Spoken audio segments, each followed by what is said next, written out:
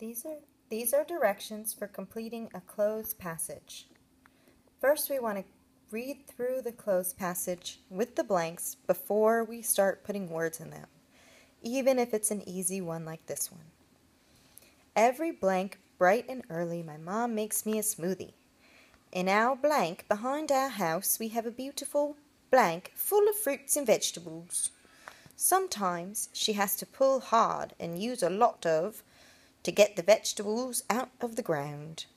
We chop blank the tops and throw them into compost, which is like a blank can for fruits and vegetables. The tops will decompose in the compost and then we use them as fertilizer.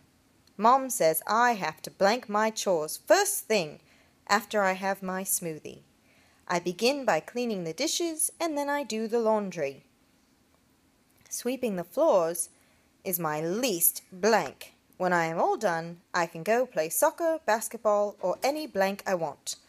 My brothers, Emmanuel and Louis, always help out. They are the best. Now I'm going to go back and try and fill in any words I already know. Every blank bright and early. Well, the only word that would work for that one is morning. So I would go ahead and write the word morning. In our blank behind our house. Well, I see a couple. Backyard could work or garden could work, so I'm not going to fill that in yet. We have a beautiful blank full of fruits and vegetables. Now I know which one goes in which blank. Backyard behind our house, we have a beautiful garden full of fruits and vegetables.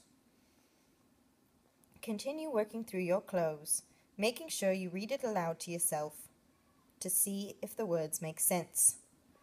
Always fill in words you already know first and then try and use context clues to fill in words you don't.